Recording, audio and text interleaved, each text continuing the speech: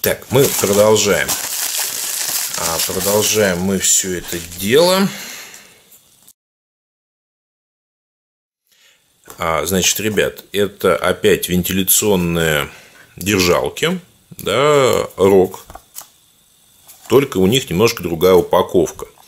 Очень интересный момент, да, связан он с чем? А, с одной стороны, это то, что я хотел, а с другой стороны, это не то, что было на картинке. В связи с тем, что это не то, что было на картинке, по идее, можно открывать спор и а, в наглую у китайца там отсуживать денежку назад, как минимум часть. Вот. Но я, наверное, этого делать не буду, ровно по той причине, то, что ну, мне аж пришло то, что я хотел. Правильно? Да?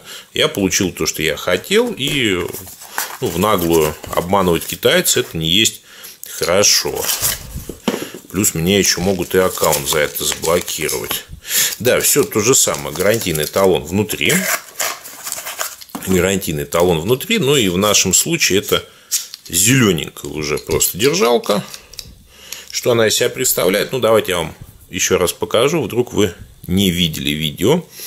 А, значит, ну, представьте, что нож – это вентиляционная решетка. Вы вешаете, выравниваете, как вам это вот будет удобней фиксируете все это дело.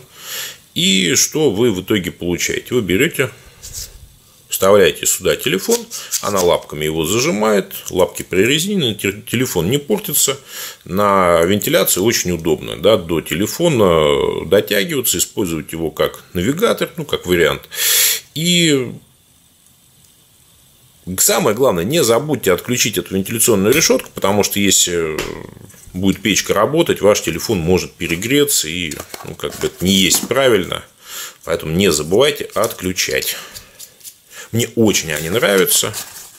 Я прям с них тащусь своих денег. Они, ну, однозначно стоят. Как тебя закрыть? Все, закрыли.